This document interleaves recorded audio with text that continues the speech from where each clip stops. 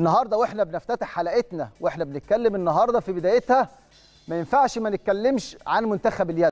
النهارده عندنا إنجاز كبير بيتحقق في كرة اليد المصرية في أولمبياد طوكيو 2020 النهارده وإحنا كلنا بنتفرج على منتخب مصر وهو بيلعب أمام ألمانيا. ما شاء الله عندنا منتخب عالمي. عندنا لاعبين على مستوى القدر المسؤولية. عندنا فعلا لاعبين مميزين. النهارده وإحنا بنشوف منتخب مصر النهارده هو بيكسب منتخب ألمانيا بنتيجة 31 26 لصالح منتخب مصر. النهارده فعلا عندنا وإحنا بنتكلم عن منظومة كرة اليد عندنا منتخب بيضاهي أو بيساوي الفرق العالمية. النهارده لما ابتدى المشوار وإحنا بنتكلم مع منتخب البرتغال أو منتخب الدنمارك أو حتى منتخب البحرين أو كمان النهارده مع المنتخب الألماني فعلا عندنا لاعبين بيمتلكوا شخصية الأبطال.